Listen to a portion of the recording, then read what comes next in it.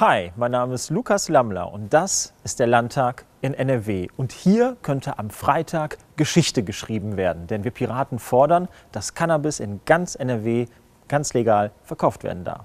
Die Chancen dafür stehen eigentlich ganz gut, denn FDP und die, vor allem die Grünen werben immer wieder damit, Cannabis legalisieren zu wollen. Aber wie sie sich hier im Landtag verhalten werden, naja, das werden wir sehen. Schaltet also am Freitag in den Livestream und überzeugt euch selbst.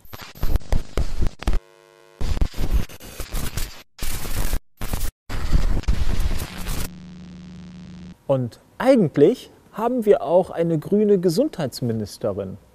Und die ist auch dafür, Cannabis zu legalisieren. Kann ja eigentlich nichts mehr schiefgehen.